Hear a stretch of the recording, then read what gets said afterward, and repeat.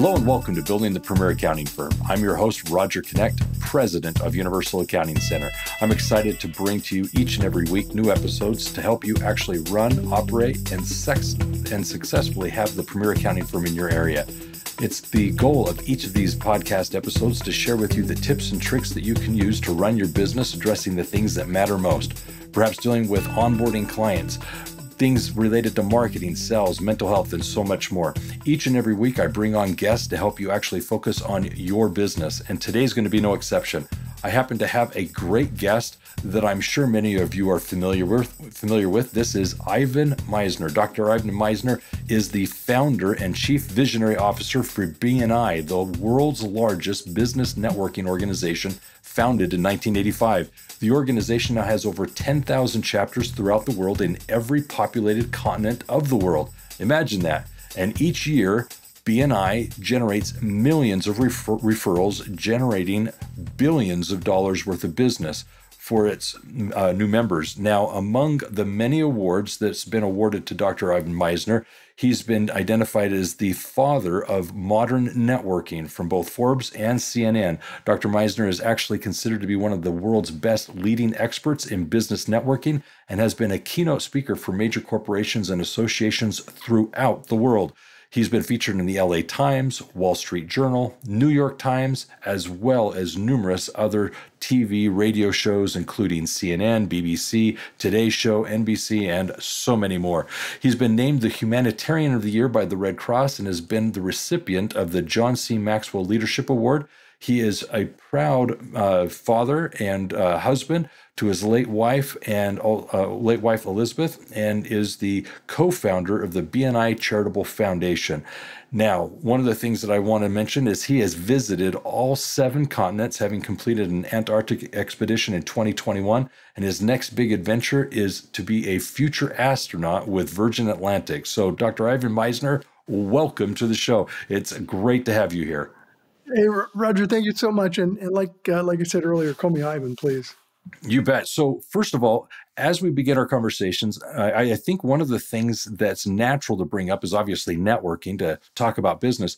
But I'd like to begin somewhere else. I'd really like to get into uh, basically back in the 1980s. Just so, what what was it that was going on? What was happening? And I know you had another profession that uh, caused you to actually build a mastermind group and start that. Um, what I'd like to do is actually begin there, and I think every business owner would just like to try and understand what it's like to build connections and get support. Um, what was it like back in the 80s before all this networking existed? Yeah, you know, I'd like to tell you I had this vision of an international organization with groups all over the world. But the truth is, I needed some referrals from my consulting practice, and I put together some people I trusted. They trusted me. And we started referring business to each other. By the way, one of the very, very first people uh, was an accountant. Uh, she um, was a CPA and um, uh, had just left um, uh, the Beverly Hills accounting department, started her own accounting firm, and um, her firm is still a member today after 37 years. She she's one of the founding. Carolyn Denny is her name. She's one of the founding members of the founding chapter of BNI, and her son is the member now. 37 years later.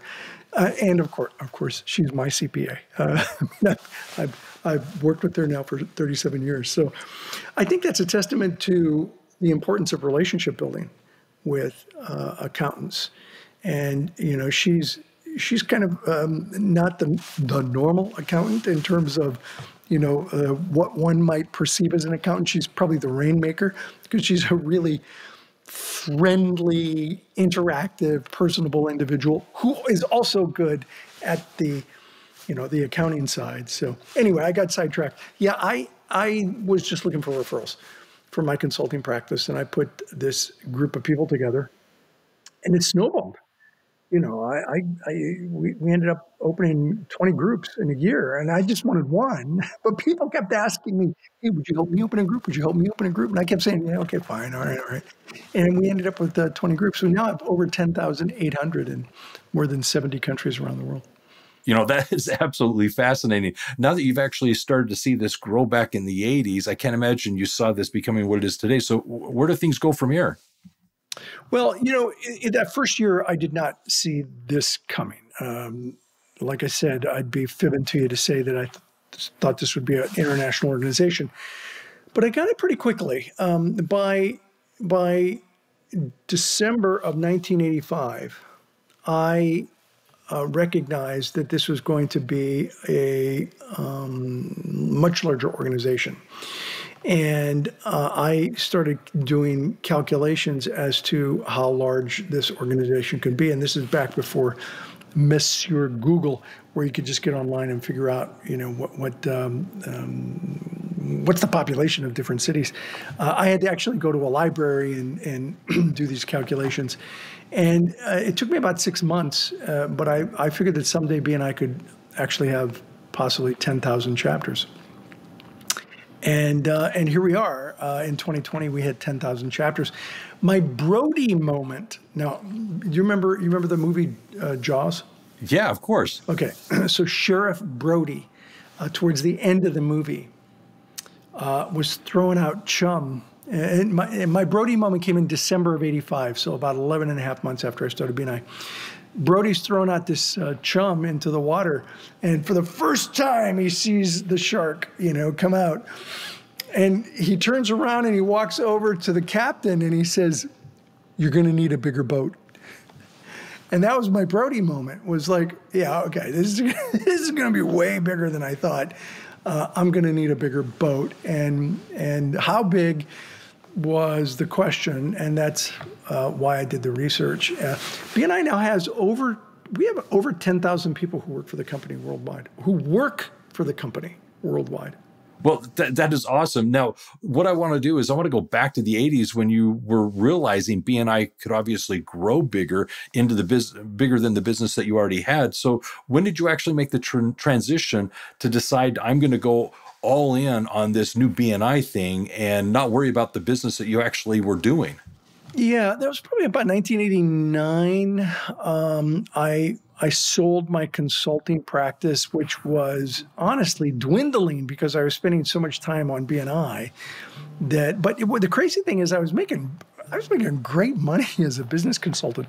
I was making like a hundred bucks an hour. Oh my heavens! Now, we're talking 1985, 86. I'm making hundred dollars an hour in 85 or 86 and um, I, I, decided, you know, uh, I'm, I'm going to do this BNI thing. So I actually took a pretty big cut in pay but I was willing to do it because um, it, it, was just making such a big difference in people's lives um, that I, I, by 1989, four years into the BNI program, I sold my consulting practice and, and did BNI full time that's incredible because I think a lot of people that are even in the accounting space see the same thing happening. A lot of the people that I work with coincidentally have a day job and they'll do accounting on the side. So they've got their employment that they're doing, you know, uh, during the day, but then weeknights, weekends, they're actually working with clients. And in general, they often start to see that their companies, that, that, that there's a pivot moment where they can actually all of a sudden recognize, well, maybe I need to do this instead. And they take the full-time job where where they're making their money doing what they're doing. They're like I, I, need to actually focus on what i'm doing in accounting. And they jump basically both feet in into that experience. And i see a lot, a lot of the listeners actually relating to that i did that twice because I, I pivoted from you know i was a management consultant part-time for several years and then pivoted to full-time and then you know I did the pivot to full time, and then a few years later sold that business and and then pivoted to BNI full time. Uh, so it's it's an effective technique if you are good at managing your time. If not, it's a distraction and a disaster. Gotcha you know, related to all this, obviously networking is such a thing that you're an expert in, but for accounting professionals, it's not typically the thing that naturally comes to the forefront of their skill sets. It's actually the numbers that generally they have the confidence with, and they're pretty much uh, comfortable with the technical nature of things. But networking, however, is the backbone upon which they're able to build their business. And BNI, especially in our company, has been a central part, an integral part of the success we've had. So the question I wanted to ask is when you speak with someone and they say, but I'm not a networker, I don't have, I'm not comfortable with, I, it doesn't come natural to me. What is your response to them? So, you know, I, have often heard uh, people say, well, I'm an introvert, it's difficult to network. And um, I get that.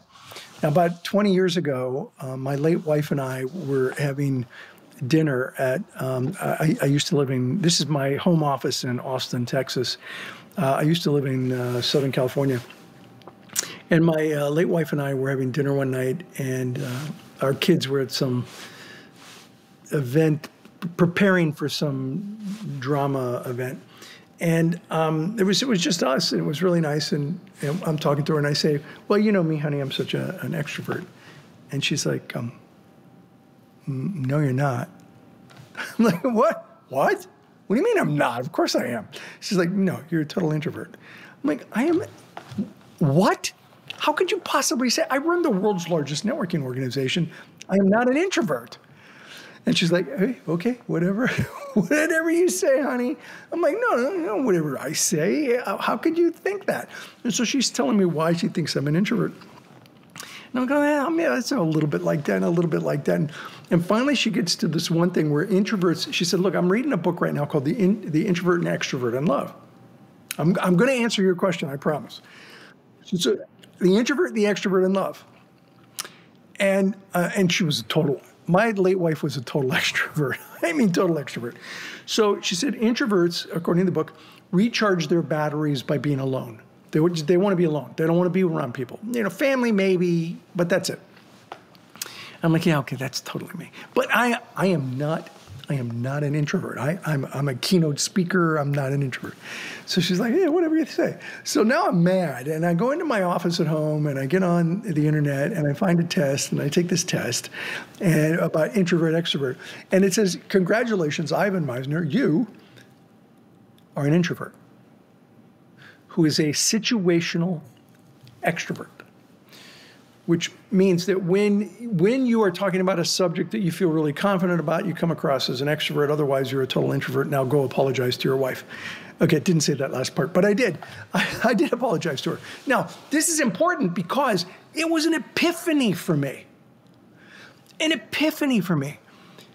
I take this test. I'm an introvert who's a situational extrovert, and I started thinking about the kind of organization I created. And the more I thought about it, the more I thought, oh my goodness, this is an organization for introverts because it's it's an organization where you get to know one another.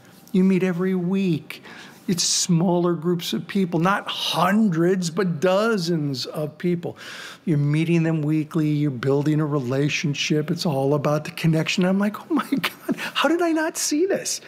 This is so obvious to me. And so the answer to your question is that particularly, there are networks. Not all networks are like this, obviously. Some are really aimed at extroverts, but there are networks that are aimed at introverts. And BNI is aimed at introverts. It works for ext- extroverts, but it also works really well for introverts because it's all about building relationships. So you see, both introverts and extroverts can be good at networking. The thing with introverts is they got to learn to make a connection with people. And the beauty of a group like BNI is that you're meeting every week. You, you make a connection. That's what I feel comfortable with. The, the extrovert wants to talk about themselves. That's their favorite subject. The introvert, they want to, they, they're willing to listen. Introverts are good at listening. Extroverts are good at talking. What I learned though is that um, networking's, uh, you know, a good networker has two ears and one mouth and uses them both proportionally. So an, an introvert is better at listening than an extrovert is. Extroverts have to learn how to shut up and listen. Introverts have to learn how to introduce themselves, how to connect with people, that first contact. Once they make that first contact, they're okay. And so, um, uh, it, it, you know, I kind of stumbled into this, but I stumbled into it thinking I was an extrovert, but I created an organization that was really very conducive to introverts. You know, hearing you explain that, I can actually share an epiphany that I've had with BNI. It's the fact that I'm naturally an introvert, and being an introvert, it's kind of hard to go a net, to a networking meeting and actually interact with, find people to talk to, and greet them. But one of the things that came natural is asking a lot of questions, just getting comfortable with going into the room and not worry about who I am and what I'm doing and trying to explain myself, but rather just asking great questions. And in that process, I found that people were comfortable to talk about themselves. When it comes to the 30 second commercial, that's perhaps not where I shine, but where I am really effective is in the one to ones, meeting with people off, off to the side, talking to them individually. And it's in that process that I can dive deeper into who they are, what they do. And naturally, they're just going to respond by uh, reciprocating. They just want to ask me about what it is I do. And I really don't feel the, pressure, the pressure to manage the room being a, an introvert like that. But one of the things that I can say is I can go to a meeting and not being the center of attention, I can actually uh, get get things done. I can pull individuals off to the side, have a one-on-one conversation with them, and just get them to open up and talk about themselves. Right. And that's where I do very very well. No, I get it. And you know, uh, particularly in groups like BNI, where uh, you, you, have a chance to introduce yourself every week, but there's one or two people that go a little deeper and they do a a longer presentation, five, 10 minutes, 12 minute presentation. Uh, I, I, I got a great story about an accountant, CPA at a BNI group. One of my original chapters, I mean, we're going back 36 years ago. Uh, really good accountant, well uh, respected in the group. And it was really funny because um, I was the, the, one of the leadership team people came to me and said, "We got to talk to this person because they're ready to quit." And it's, it wasn't my CPA from the first chapter, it was another one. And so I sat down with her and, and I said, What's going on? She said, Well, um, I'm scheduled to do, do the um, feature presentation, which is 10 minutes long, uh, in, in five weeks. And if I have to do it, I quit. I'm like, You quit? Why would you quit? She said, Because I, I am not going to stand up in front of 30 people and talk for 10 minutes. I'm just, I'm not going to do it. And so if you're going to make me do it, I quit. like, okay, well, first of all, don't quit. Let's talk this through.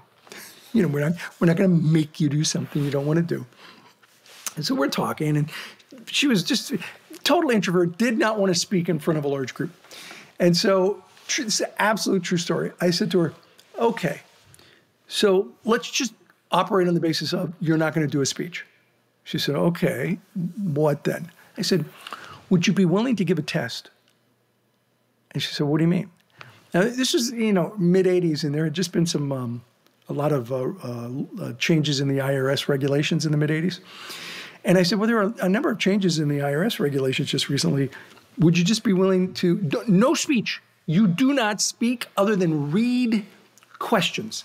Just read 10 questions that you make up and just say true or false. Is this true? Is this false? And then read the question and have them vote. How many say true? How many say false? And then just give the answer. That's it. You don't have to do anything more than that. And and she said, Well, yeah, I, could do that. I said, Well, and she but she said, Why? That's not a presentation. I said, Well, it's to show how much you know about tax law.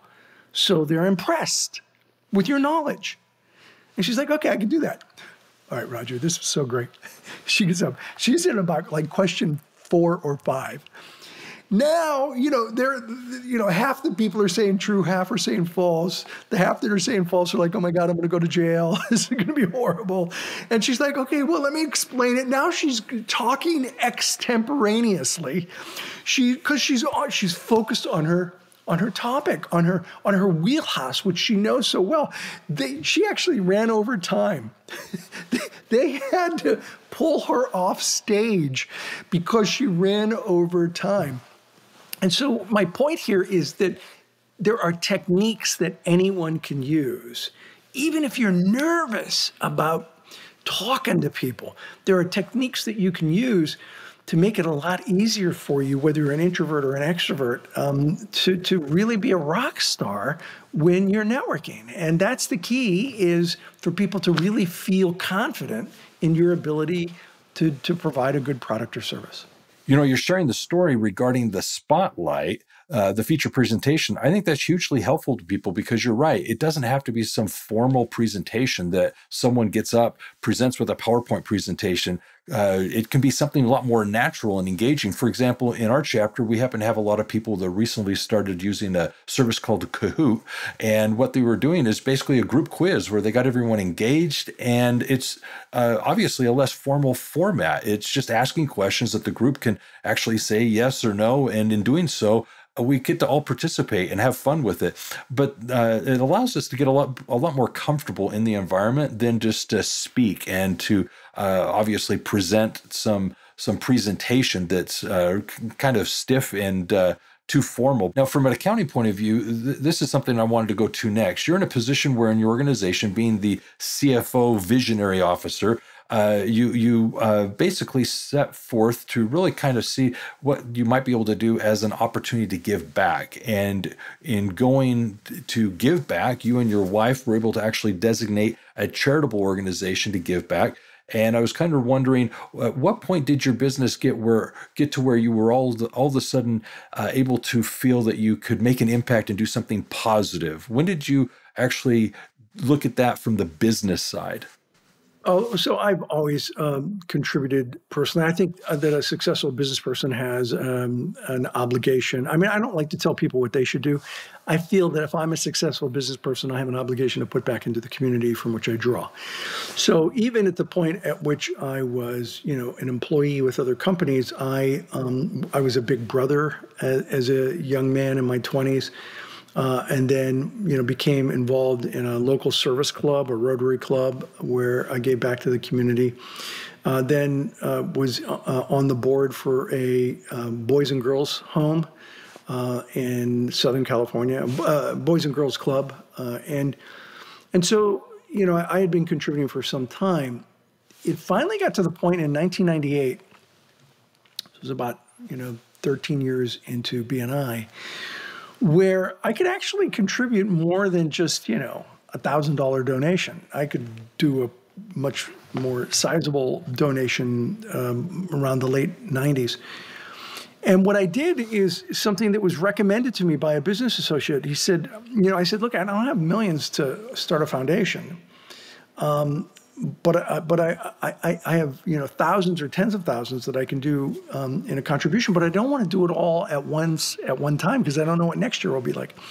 And and he he recommended community foundations to me. Are you familiar with community foundations, Roger? Yeah.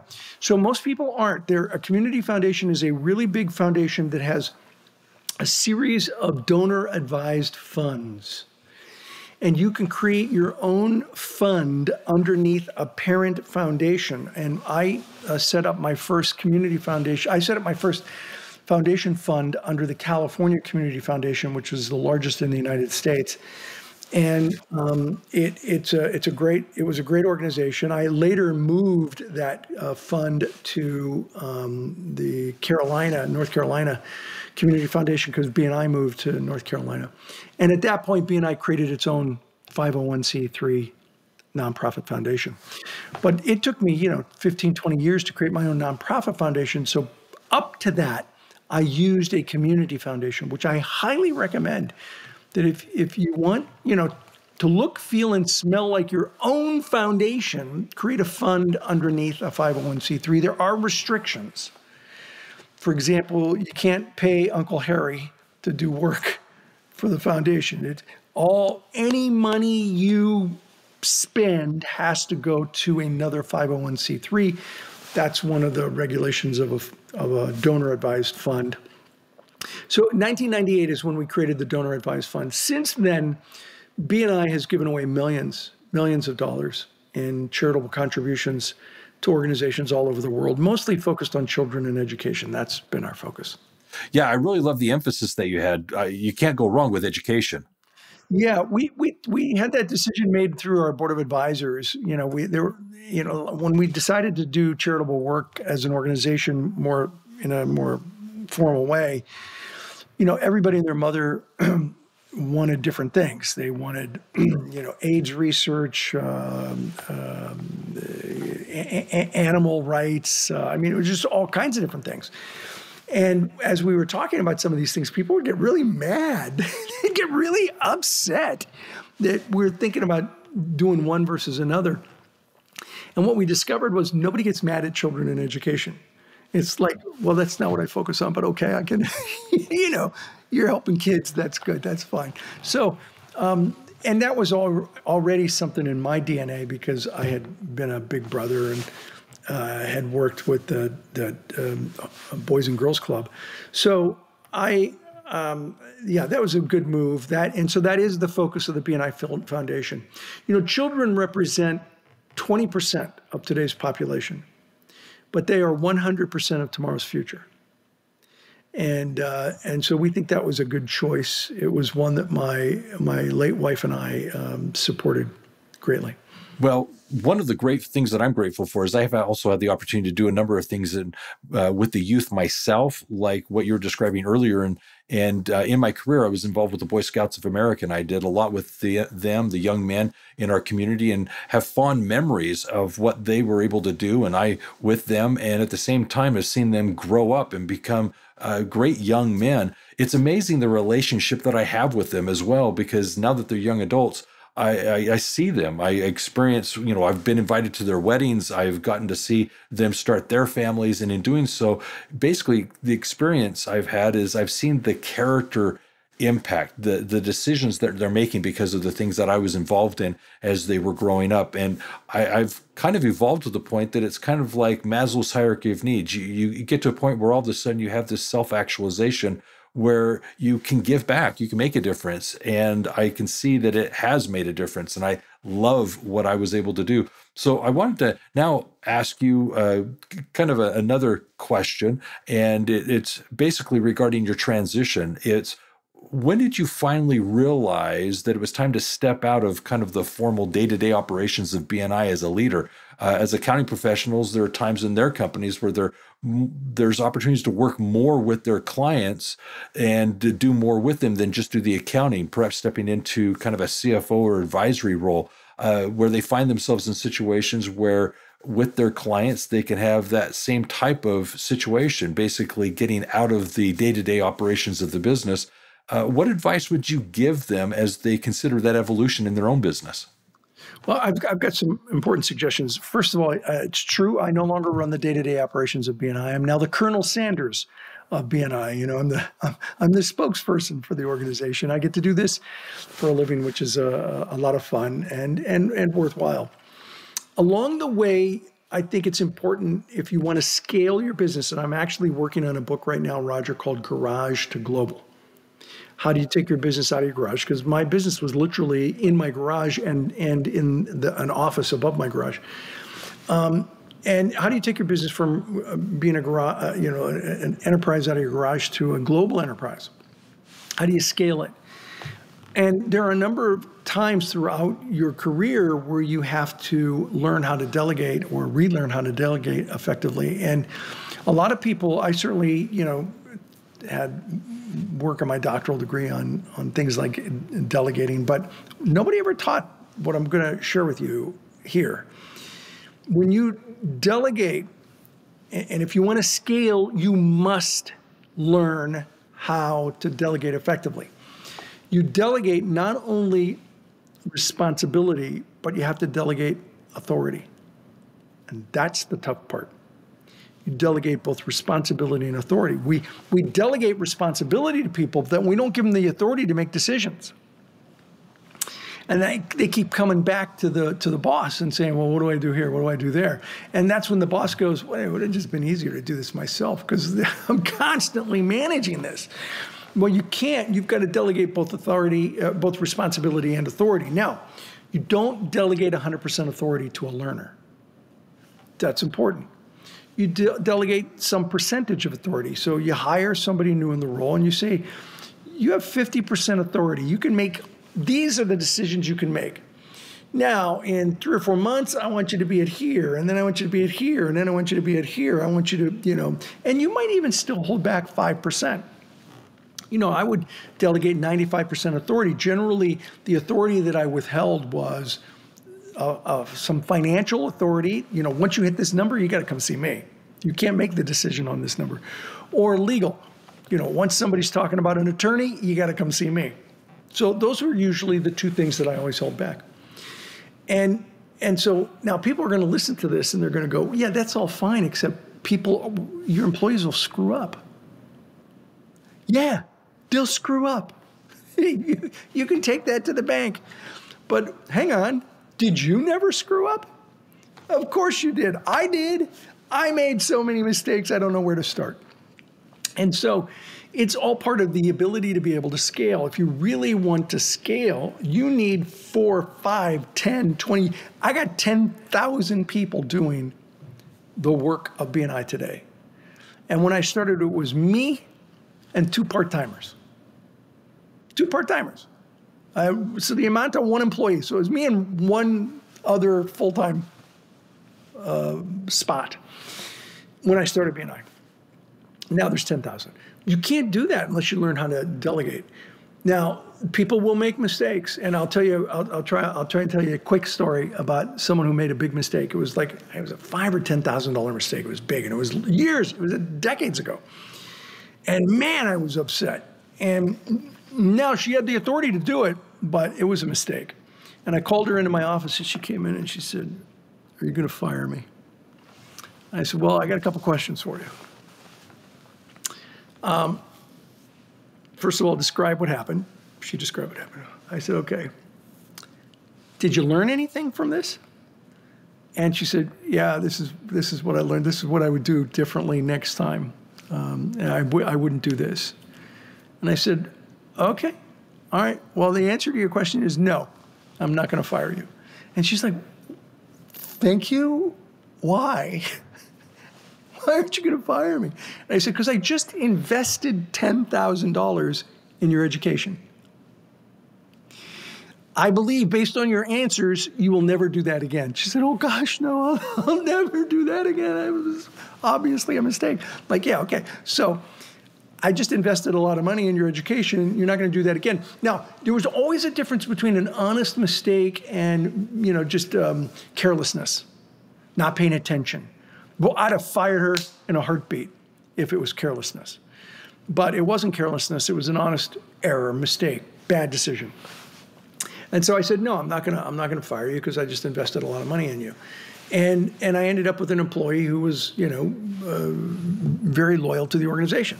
So um, it, it, it, it's going to happen. But look, I've made bigger mistakes than she did. in my tenure, I made way bigger mistakes. So um, it happens. That's the that's one of the most important things to scale. Uh, delegate authority and responsibility, responsibility and authority both. Okay. Okay, you know, you know, I love this explanation because it actually makes sense to me, and I love the story because it's similar to my experience. You know, your example of education, learning from those those experiences is so true uh, one of the things I'd like to share is that in our business, it happened to start back in 1979. I'm the third president of the company. And being the third president of the company, I had to go through this evolution, as you're describing, where the second president was retiring. And in that decision, there was the responsibility and authority to be given in time. Uh, basically, the, the two things that you mentioned and the way it basically transitioned for me is when I first started, there were a few thresholds. Uh, first of all, uh, I couldn't spend over certain limits without his involvement. Uh, he was wanting to keep the reins on the financial side of business. There were also legal things that uh, he was obviously still legally bound to the company. He was a liable, a liable partner, so he was interested in keeping his signature. And uh, at that time, obviously, I had to involve him in the legal things that were going on within the business. But there were also what we refer to as sacred cows, sacred cows, which is when I sat down with him, I basically asked, well, What are some of the things that I cannot change, that I can't do anything about? And he listed out there are these few things that you can't change, at least not for, for the time being. And they were basically things I had to work with, work around, had to be aware of.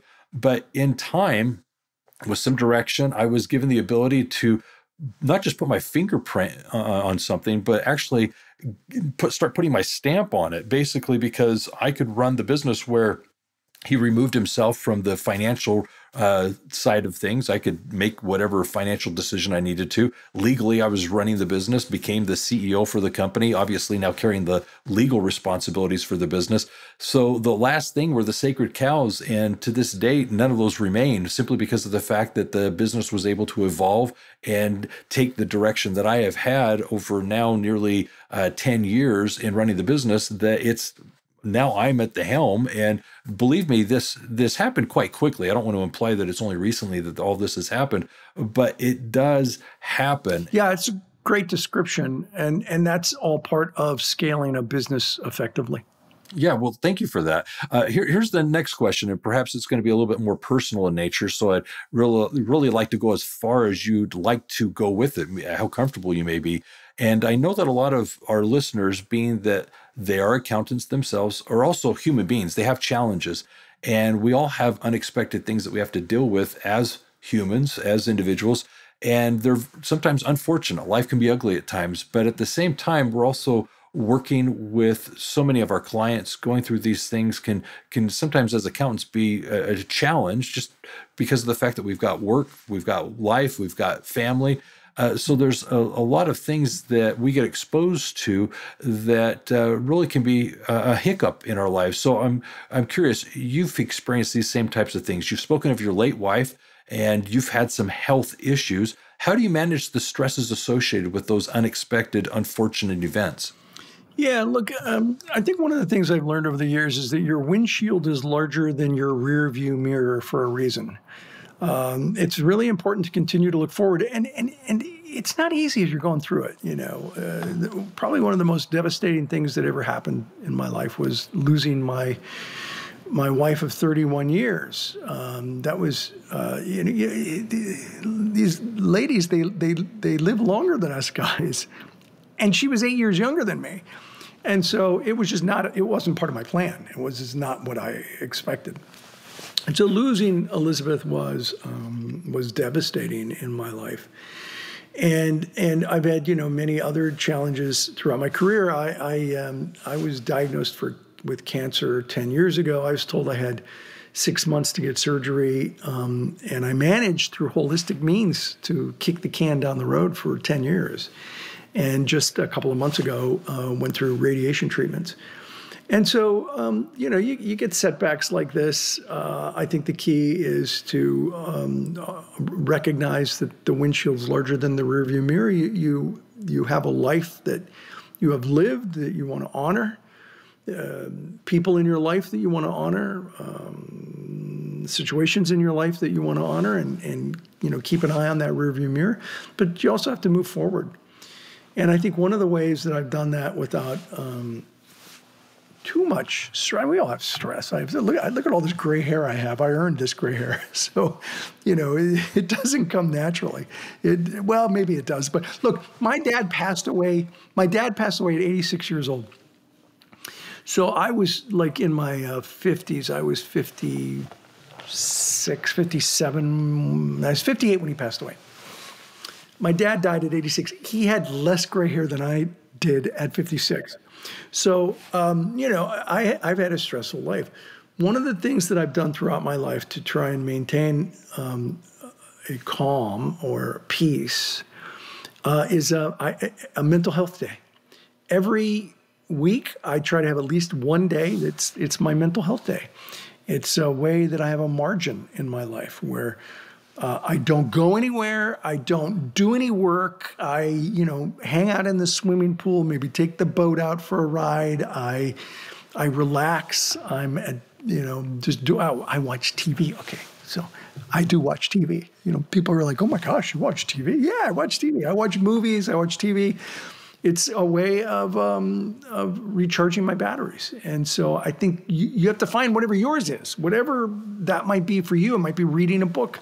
It might be, you know, I've, I've been really getting into Audible books lately. I've been listening to Audible books a lot. And so um, there's a lot of uh, uh, things that you can do to recharge your batteries, but you have to do it. You know, I really thank you for that. You, I agree. You have to find what works for you to recharge your batteries. Introvert, expert, extrovert, uh, people, hobbies. We all got to find those things that we can do to basically recharge ourselves to be able to go back into whatever it is that we're dealing with on a daily, weekly basis with our clients. So, completely agree. And I thank you for that. Um, now, I also understand that congratulations are in order. I know you recently announced that you're engaged. So, how are things going? How are things changing for your life now that you're in that Twitter pated stage? I'm 66. I don't know if Twitter pated is uh, is relevant anymore, but you know, because you have you have you have enough experience that you kind of know what you're getting into. Um, you know, so my wife passed away two years ago, and uh, I have met a wonderful woman. Uh, it was it, it, was it was a referral. It was lit, literally a referral. Somebody referred her to me. She works for Jack Canfield. Uh, her name is Jody. And she works for Jack Canfield, who wrote uh, the Chicken Soup for the Soul uh, series. And ironically, while we're talking, Jack just texted me on something. Um, so I've known Jack a long time, and, and it was a fantastic referral. Um, it's it's you know it's a new direction in my life, and um, she's an amazing woman, and I'm looking forward to this uh, new direction. I'm happy for you. You know, th- uh, this is great. Uh, I'm thankful to know that your health is well, getting better.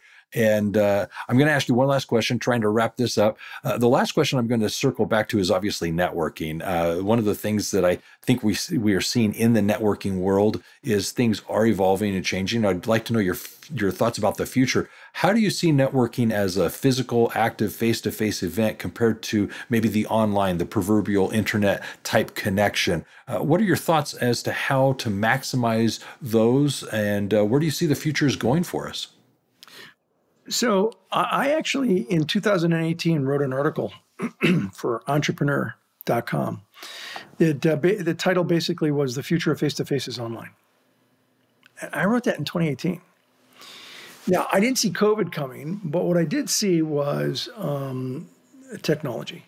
I mean, look at look at the technology we have here. You know, where we can get on either Zoom or some platform to uh, uh do this interview from different parts of the country. Sometimes I do these from different parts of the world. Um, the technology is amazing today. And, um, you know, four years ago, uh, Linden Labs said that within the next 10 years, mixed reality technology, the metaverse, holographic imaging, is going to be as commonplace as uh, an iPhone. And um, I realized that that's going to really change the networking platform.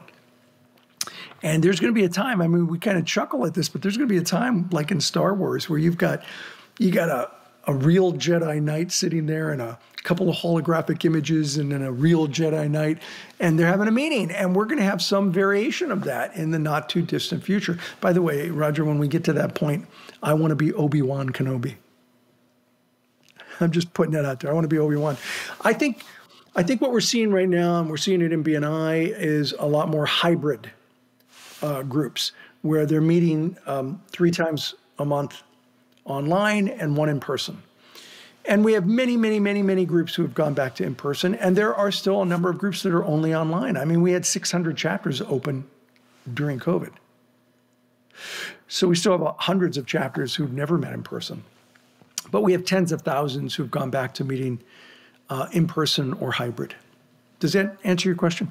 Yeah, it certainly does. And I'd like to add that I think technology as a platform has gotten to become much more stable, more reliable, and it's allowed us to do business uh, more, you know, basically remotely, internationally, more comfortably. And I think that's phenomenal. A phone call, email, this is so much more, and it really does help to have those virtual uh, means of communication. And I also also think that it allows business engagements to become more personable because we're able to actually see people that we're interacting and working with. Uh, and, and, second, I do want to say I need to get an avatar. Like you just said, Obi Wan, I need to come up with my go to response and figure out what my avatar is. So that that is awesome. Now, okay, what I'd like to do is actually wrap this up and uh, share with uh, everyone what's going to happen. First of all, I'm going to do an offer and invite the listeners to actually go to the episode description and get that. But I'm going to come back to you for a closing thought and uh, basically see what you'd like to do to kind of wrap this up. But I'm going to, going to also do a summary. So, first of all, for the offer, I do want to invite everyone to go to the episode description and check out the information there. You can find basically a BNI chapter near you. One of the things that I want you to do is go back to the episode description and take advantage of this opportunity to expand your own networking go out there, actually get involved with BNI and see what it can do for you. Uh, it's actually been a wonderful uh, move for us. Uh, the motto of givers gain, I think, is a philosophy that's played very well for us as an organization. We've actually grown some of our divisions of our company on the backbone of networking, and we've done it basically through BNI. I'm also coincidentally a volunteer. I'm currently a director working with two different chapters. So I want to point that out that BNI has been a very influential part in our business model, and I'm grateful for it. The second thing I want to do is invite you to check out the episode description for a link to some free resources that Ivan has put together for us, where you can actually go and get a number of free resources that uh, he's prepared and produced for us to take advantage of that are completely free. So go there to the episode description and take advantage of those. Likewise, subscribe to this podcast. If you haven't already done so, I would encourage you to do so because each and every week we come out with episodes that are with the experts to help you understand what it is you can do to work on your business. So subscribe to the podcast, set those notifications and go back to the previous episodes and find out what other things we've discussed with the experts that you can take advantage of, listen to, and most importantly, adapt in your business. I really uh, want to also express appreciation to Ivan. He's really shared a, a great perspective of starting something in business. Sometimes you have to pivot. And like he did, uh, we as accounting professionals oftentimes find ourselves as we're working on our businesses needing to pivot, change, and do something different. And I think he really illustrated that in his uh, explanation of his journey. He started with those groups with the intent of networking to grow his own company, and soon he was off, obviously, doing network as a business model. He also focused on two things that I think are really important. Uh, for example, starting the business with the intent of offering a specific service like us with accounting, bookkeeping, tax. But before you know it, you're doing a lot of advisory work. And we may find opportunities to present themselves where we can actually transition and pivot for our clients. We needed to really be open to those things, really entertain the opportunity to do something different than we were actually pl- uh, planning on. The second thing that I really appreciated from this is our conversation about his giving back, finding a way to actually give back to the community and make a difference there. I, I really found his opportunities to participate in different organizations with the youth. Uh, he's now got his charitable organization with BNI that's something specific. It's helping them with education. That's amazing. And uh, would invite everyone to check out more what they can do to contribute to that. That's something that I think our listeners can do more of as well. The third thing I wanted to point out is that he did speak of the windshield being larger than the rear view mirror. Each of us in our own lives obviously have hiccups, challenges, struggles, unforeseen events that we run into. And he just very, very clearly pointed out that what we need to do is be prepared to actually move forward from these uh, situations and better ourselves from them. And honestly, live life, continue to live life. He's clearly pointed out that you just get ready for that next new chapter that oftentimes can be very exciting and fun. And I'm grateful for him and his experiences that today in his own life have uh, kind of set that example. And the last thing I want to do is kind of end on this idea of networking. It's hugely important in any business. As much as we want, we may want to say that accounting is a numbers business, it truly is a people's business. And what I mean by that is it especially means that we need to be open and willing to work with, engage with our clients, interact with them, so that if we can just at least be open to or open to these various forms of networking, such as technologies, uh, allowing us to do remote remote conversations like we're doing here today, I think this will just be a way to broaden our opportunities and make those connections, finding the potential clients and building our business. So, obviously, a lot of little nuggets here in the conversation today. So, Ivan, what would you like to conclude with? Well, listen, I think if you want to be successful in business today, you got to do six things a thousand times, not a thousand things six times. And I think all too often business people are really focusing on doing a thousand things six times. And that just never works nearly as effectively. It's about consistency over and over and over again over time. And I think this is one of the things that accountants can be really great at is doing things over consistently. And um, that's the way to build a successful uh, accounting business in, in, in any business, in my, uh, in my opinion. Excellent. Well, sir, thank you for your time today. It's been amazing. I've been looking forward to this conversation for some time now, and I appreciate it. Thank you so much for being on the show. As a conclusion, let me just mention to the listeners again obviously, subscribe. If you have questions, feel free to reach out to us as well at Universal Accounting Center. If you're looking to apply these principles, would like to understand more what you can do to actually grow your business, give us a phone call. You can reach us at 801 265 3777, or you can visit us at universalaccountingschool.com. And with that being said, always remember this if it's about accounting, it is universal. Take care, be safe out there, everybody.